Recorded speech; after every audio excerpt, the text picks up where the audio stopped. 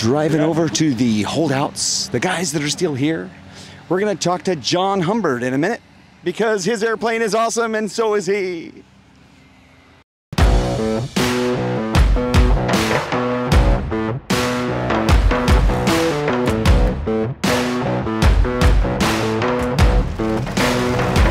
Let's go flying. Boom! All right, everybody, welcome to the vlog. Cory Robin here with Jon Humberd. He is one of the new entries this year at the Oshkosh STOL demo team. Jon, why don't you introduce yourself? Tell us a little bit about you.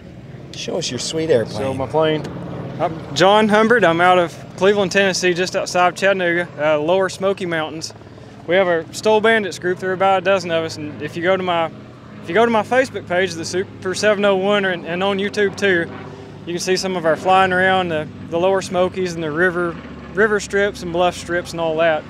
Um, and I had an opportunity to actually come and Yes. fly with you last year, and it was probably one of the most amazing parts of my. I flew across the whole country, had a lot of stops. Yours was definitely the highlight of the trip.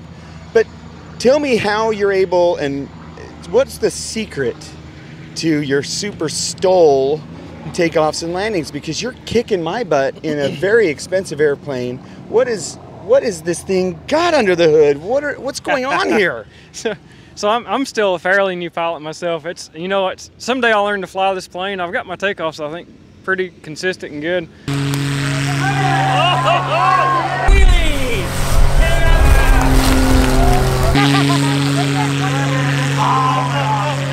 Uh, landings I'm still working on. A little too much power. Boom, right on the line, right after the line. Uh, it's, it's tough to get the angle of attack I really want to be able to have have what I need to be able to compete with you know the Steve Henrys and that that type of the world.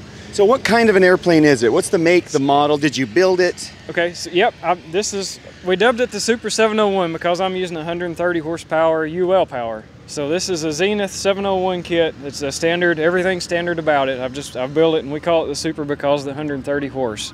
Okay, so the UL engine, that's a, a fairly unknown engine manufacturer, but it's a little it's a bigger bore. It's a bigger Yes. bore engine, kind of maybe somewhere in the middle between the Rotax world and the Lycoming world. Is that right? So it's, yeah, so the UL Power is Belgian made. It's just outside of Germany. Uh, it's a boxer style and they use a big bore and a short stroke. Um, this helicopters. Ah, I love airplane noise. So we're, we're out here at Yeah. the ultralight field, and so airplane noise is part of the course. Pretty awesome. Right, it, it's cool. But yeah, big bore, short stroke, so it's 130 horsepower. It's direct drive, no gearbox, any of that kind of stuff. It is fuel injected, so no choke, no mixture, none of that to deal with. Um, air cool, so no water pump, no radiator and water and all that kind of stuff. So, it's, it's uh, simple, it's, lightweight. It's simple like the Light Lycomings, which is why I love the Light Lycomings, the bigger bore, the throatier sound, Right. the higher torque values. Yep. So you don't have to rev it as high. So what kind of RPMs are you getting? So okay, so the UL power is red line at 3,300 RPM. Okay. Gen, usually I fly when I'm cruising with, especially with you guys are a little bit faster. I'll, I'll pitch it a little different and I'll cruise it 2,500 or 2,600 RPM. Oh wow, that's what everybody's When- used to in these. in yeah, these when when I'm around the farm, just playing around home, and I'm putt putting around at say 60 to 75 miles per hour, I'll be cruising at 1900 or 2000 RPM, and it's just like a sewing machine up there, just as Yeah. smooth as it can be. Yeah, just cruising.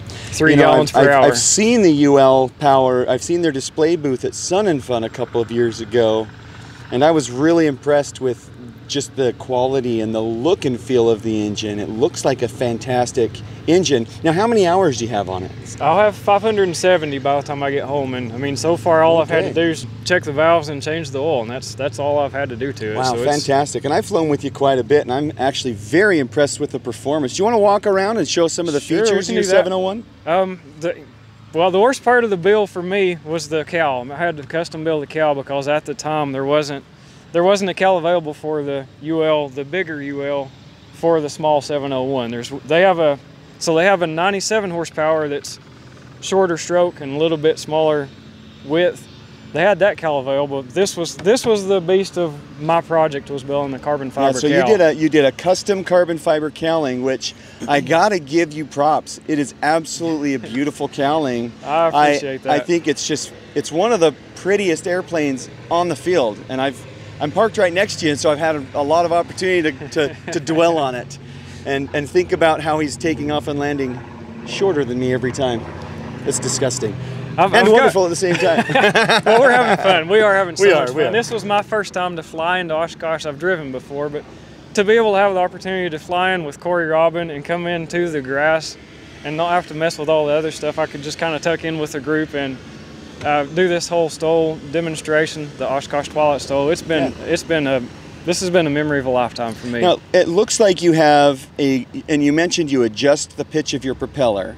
Tell us about, is it a ground adjustable or can you dial it in in the air? Who makes it?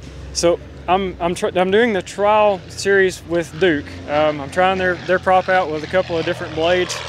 Right now I have the swirl blade and it's ground adjustable, so I do have to remove the spinner and adjust them each blade manually. Okay, Um, I'm going to try one with a little bit wider chord when we get back. They're going to send it to me. Okay. Duc makes a quick adjust ground adjustable hub. Essentially, they take a constant speed hub and they remove all the electronics and electric motor, and they have a hole in the end of the spinner, so you can stick a wrench in it and turn it, and it turns all Okay, three. like an Allen key very, yeah, an Allen key type. Oh wow, that would be fantastic. So once once Wow, we figure out the blade profile we really like, that's probably what I'll wind up with here. So I can you know, I, I, I love seeing that that small manufacturers like Duc are innovating. They're still coming out with new stuff. And I think that's driven by people like you and me and how popular this backcountry thing is becoming. It is getting very popular. because that's something that I require in my on my fire on my nose cone anyway. I need to have a ground adjustable propeller because Yep. I do these competitions. And well, when you set up for cruise, it's a different story when you want to take off It's and a- land short. it's a different ball game. Yeah. Yep. Yep. So do you want to take a second and talk to us about maybe why you adjust the pitch of your propeller for different circumstances? Sure, sure. So so I set it back to cruise this morning so I could head back home, and it's the cruise for me. It's mostly for fuel burn and the higher RPM. I don't want to go home turning 3,000 RPM. Okay, at, so you're say 90 or 100. increasing the pitch. Increasing pitch So uh, it's almost like you're, uh, you know, in a on a 10-speed mo- uh, cycle. It's the harder one, the one you don't Right. want to start out in. But for STOL, you're in more of the granny gear. Yep, we're in the granny gear. So Yeah. yeah, in the STOL, we'll we'll flatten the pitch and we'll get where we can get in the upper RPM band where, where usually we see the higher horsepower in these engines. We, we can kind of cater it and try to get up you know closer to 3,000 RPM or the where the horsepower is the max. Yeah, the propeller is beautiful. So I, I, I definitely think that, uh, at least from what I can see and how you're performing, uh, you know, you did very, very well against some world class guys that have been doing it a long time. All these guys that, you know, probably you and I both look up to for years and years. Absolutely, right. And you're hanging with them. I mean, I think you were, what, four or five feet I was- away from the podium. Yeah, well, I was, well, I was actually second place on takeoff the last two nights. So I noticed. was- you yeah, did, what did you do, a behind- 70 foot something last night? I don't Tuesday? remember. I was well, so I was seven feet behind Steve Tuesday night, and I was 15 feet behind him last night on takeoffs. And- And someday I'll learn to land this thing. it was weird air last night. I got to tell you, I was, I was uh, having a struggle myself, and I, you know, I've, I've been flying a long time, and it was just, it was challenging conditions for sure with the low light and everything. But very impressive performance. Anything else you want to tell us about your, your awesome airplane? I mean, really, this thing is it's it's really all stock. The mods I have done, like I, I followed the the Mark Patey did the slotless mod there where the flaperons come through.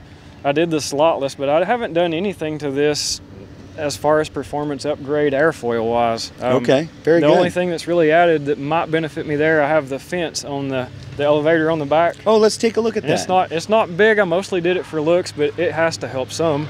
Oh yes, I see you right on the end of your horizontal here. Yep, yep. This is the fence you're talking about. Now, Yeah. what's the purpose of that for the fans that are watching? Why would you put, you know, if you come over here, Jason, and show them this angle, how the airfoil is actually inverted on the horizontal, Yep. and then he's got this fence here. Explain what the purpose of a fence is. So the the fence is keeping the air from flowing off the side. When you're at a steep angle of attack, it's trying to the air is trying to come it's trying to blow over the edge of it, and this helps keep the air coming across all the way back to the elevator, so you can have that elevator authority all the way through.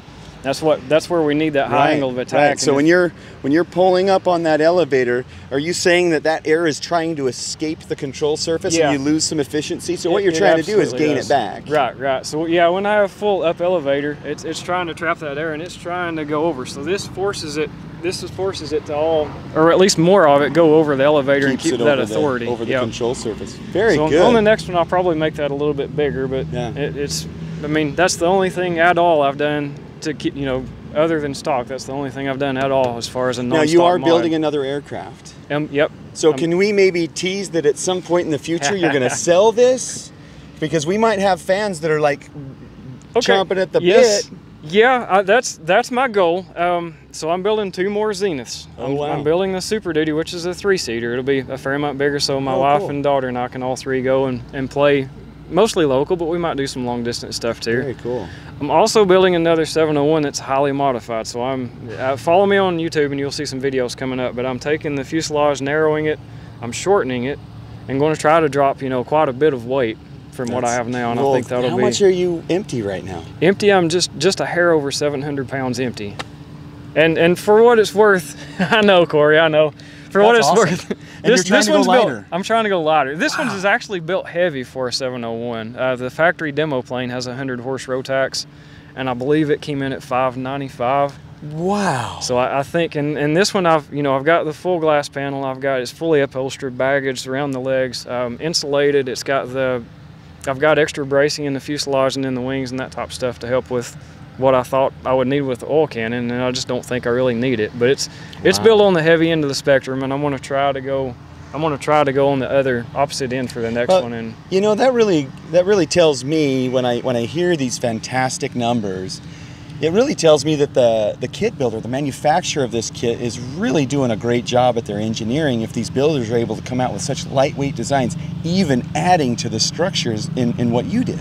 Right, right. Yeah, they, they are really lightweight. And Zenith, you know, they're not. We're known as the slow airplanes of the bunch. Um, I've had. I told them at the banquet the other night. I've had. I've actually had two bird strikes with this plane, and they're they're so slow you have to watch, watch out for bird strikes from the back. So that, that was one of them. Unfortunately, the other bird was still in the tree. So you know, you, Can't avoid that. yeah. How does that work? Yeah, We that- won't yeah, that's, into that's We not pretty. yeah, uh, yeah, we like to kid around on that. But But they do they do it. Zenith does a good job. Uh, Chris Heintz has, has recently passed, and we had a banquet the other night in his remembrance, and it was a really good, really good turnout. Um, Mm-hmm. Remembrance of him and the things he's done to promote aviation and and to promote folks being able to get in for a far less price than what you see to be able to get into the STOL you stuff get and the, ba- get the backyard you get flyers. the fantastic performance at a lower price point. Yes, so if that's yes. what you're looking for, maybe a Zenith aircraft is right for you. Jon, how can we find you on social media?